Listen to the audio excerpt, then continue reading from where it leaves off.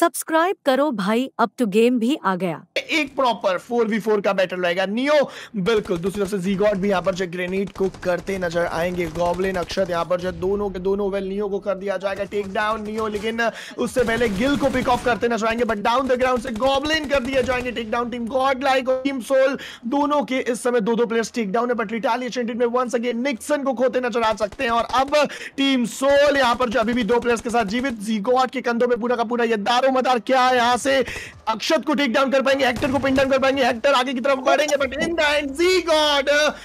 एक one v two करेंगे और फाइनली टीम गॉड लाइक के प्लेयर्स बहुत देर के बाद यहाँ पर जो है कुछ बेहतरीन फिनिशेस अपने बैग में लगातार सिक्योर करते नज़र आएँगे और टीम सोल को इस मैच में तेरहवें पायदान पे जो है एलिमिनेट कर रहे हैं बट टीम एट बिट की